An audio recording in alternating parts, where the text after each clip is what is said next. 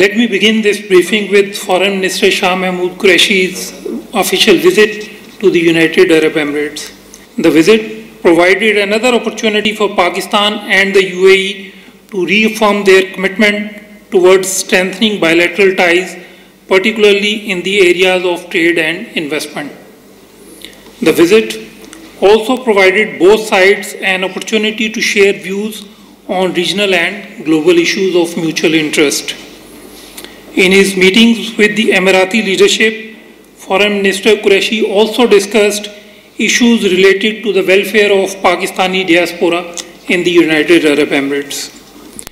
In his statement following the visit, Minister of Foreign Affairs and International Cooperation, His Highness Sheikh Abdullah bin Zayed Al Nahyan, reaffirmed the UAE's appreciation of the 1.5 million strong Pakistani community and their contribution to the growth and prosperity of the country.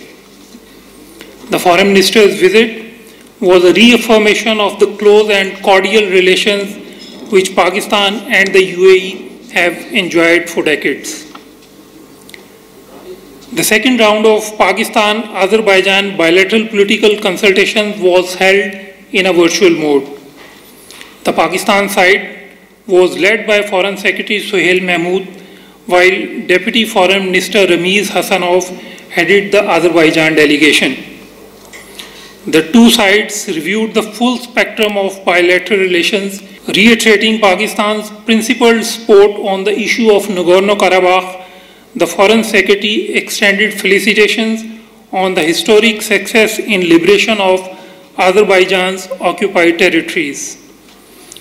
The Foreign Secretary recognized Azerbaijan's valuable support on the Jammu and Kashmir dispute at various international fora, including at the OIC contact group on Jammu and Kashmir. The UN General Assembly has recently approved a Pakistan-sponsored resolution titled Universal Realization of the Right of the People to Self-Determination. The resolution reaffirms global commitment to self-determination to be the fundamental right of all peoples, including those under colonial, foreign, and alien domination. The resolution called on those states responsible to cease immediately their military intervention in and occupation of foreign countries and territories.